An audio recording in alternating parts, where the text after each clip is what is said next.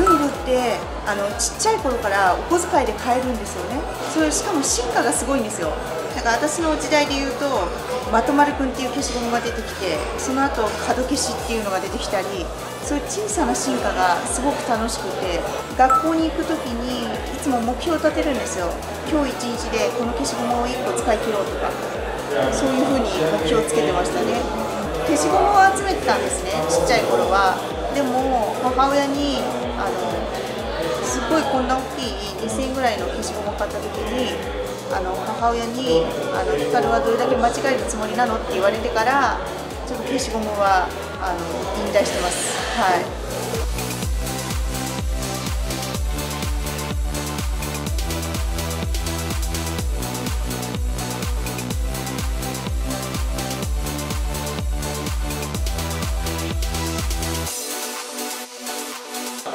しい文具に出会えること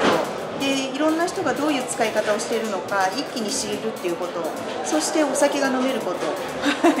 それがで文具好き同士が仲良くなって私文具祭りであの旦那と知り合って結婚したんでなんか文房具ってなんかいろいろ縁結びでこのあの文具祭りからもカップルになって結婚した人結構いるんですよ、うん、趣味が一緒っていいですよね。文具好きってもっと言いづらい雰囲気があったんですよねオタク的なでもあのそんなことなくって結構多くてしかもあの商品もいっぱい出てきて外国の人も日本の文はすごいってことに気がつきだしたんでだからアニメとかそれに匹敵するような世界に飛躍していくんじゃないかなって勝手に思ってますね。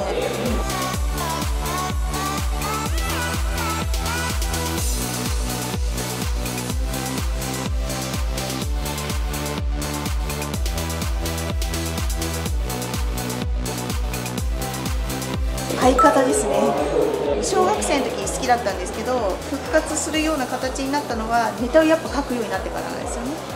ネタ作りが進まない時に新しいノートを買ってペンを買ってって新しい気持ちでテンション上がるじゃないですか最初の新しい文房具って。それでどんどん溜まっていったんですけどだからどんだけ煮詰まったんだよって話なんですけど。でもあの破産しないで集めていい趣味なのでそこがすごく魅力的です。